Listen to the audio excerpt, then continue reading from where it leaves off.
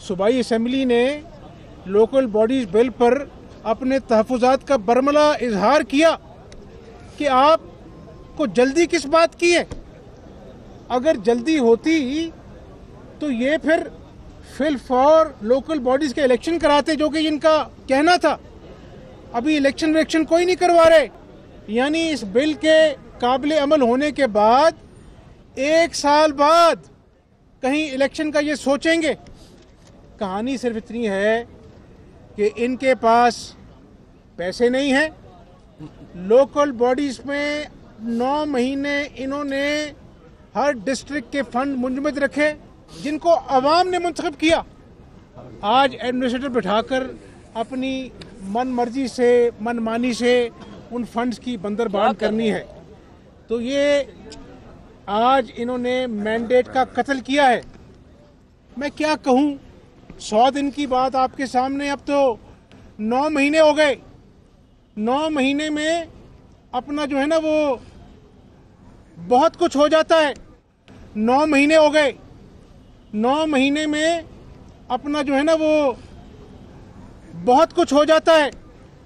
ان لوگوں نے جھوٹ بولنے کے علاوہ کچھ نہیں کیا۔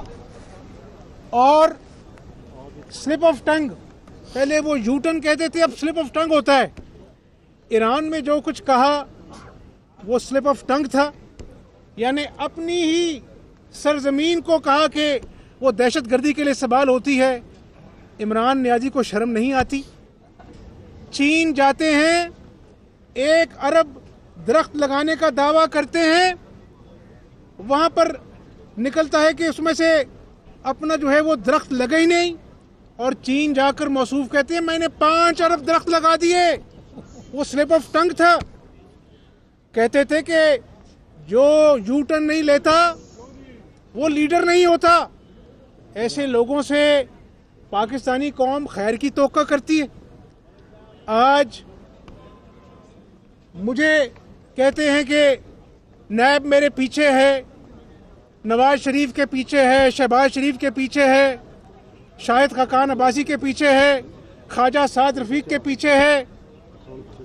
خواجہ آصف کے پیچھے ہے۔ بھائی، مجھے کوئی یہ بتائے گا کہ خیبر پختونخوا کی اپنی حکومت نے کہا ہے کہ میٹرو بس پشاور جو ہے، اس میں سات ارب کا خبن ہے۔ کوئی پوچھنے والا ہے؟ کوئی پوچھنے والا نہیں ہے۔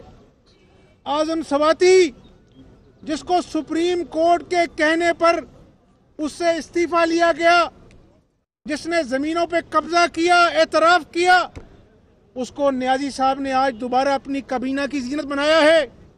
یہ نیا پاکستان اسے کہتے ہیں جہانگیر ترین، جس کو سپریم کورٹ نے کہا یہ جھوٹا ہے۔ نیازی صاحب اس کو بڑے شوق سے اپنی کابینہ میں بھاشن دینے کے لیے بلاتے ہیں کہ یہ ایگریکلچر کا ایکسپرٹ ہے۔ یہ کھیل تماشا نیازی صاحب لوگوں نے بہت دیکھ لیا۔ آپ کو میں یوٹن خان تب مانوں گا جب آپ اپنے ہیلی کاپٹر کے سیر سپاٹے کا حساب پاکستانی قوم کو دیں گے۔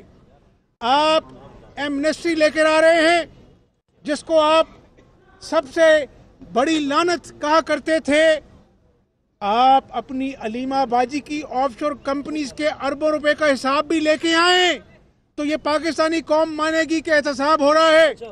اور میں برملہ کہتا ہوں کل بھی کہا تھا، آج بھی کہتا ہوں کہ میں نے مشرف کا دس سالہ دور میں اپنے خاندان کا احتساب بھگتا ہے۔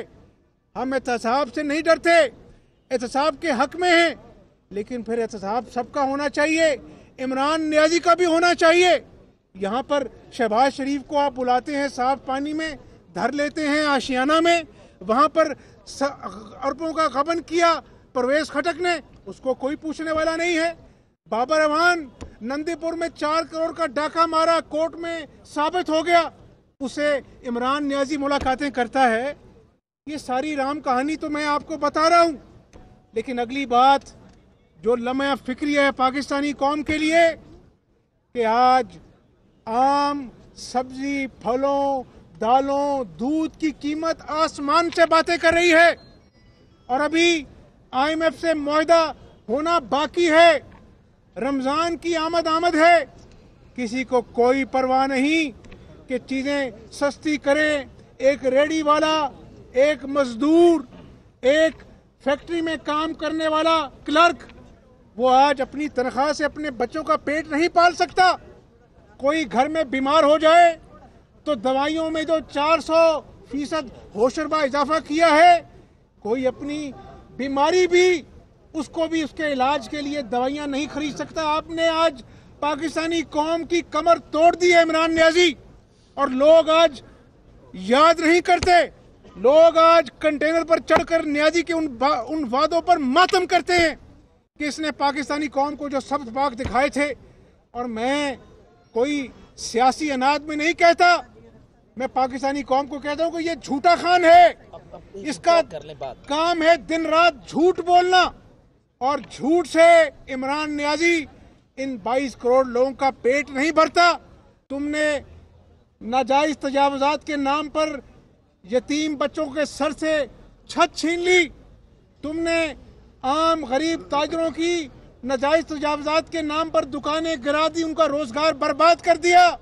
آج بھی بنی گالا کے ناجائز تجاوزات اس غریب آدمی کی غربت کا منہ چڑھاتے ہیں۔ یہ ہے نیا پاکستان۔ آج اٹھاؤ اخبار۔ دیکھو اداریے یہ پاکستانی ہیں جو اداریے لکھتے ہیں۔ روز معیشت کی بیڑا غرق ہونے کا رونا پیٹتے ہیں۔ عالمی ادارے world bank, I M F, Asian development bank, وہ کہتے ہیں کہ پاکستان کی گروتھ ریٹ اگلے آنے والے دو سالوں میں سب سے نچلی سطح پر ہوگی اور اس کی وجہ سے ہمارا ریجن بھی افیکٹ ہوگا۔ کسی کو پرواہ نہیں ہے۔ اور میں آج بڑی ذمہ داری سے کہتا ہوں، یہ عمران نیازی تو چھکے چوکے کھیلتا ہے، لیکن یہ کھلاڑی نہیں ہے، کھلنڈرا ہے۔ میں کہتا ہوں پاکستانی قوم کو کہ جو آنے والا مہنگائی کا طوفان ہے، اللہ تعالیٰ پاکستان کے غریب عوام کو اس سے محفوظ رکھے۔ مجھے خوف آتا ہے جو مہنگائی کا سونامی آنے والا ہے، جس میں یہ خان پاکستانی قوم کو ڈبونے والا ہے۔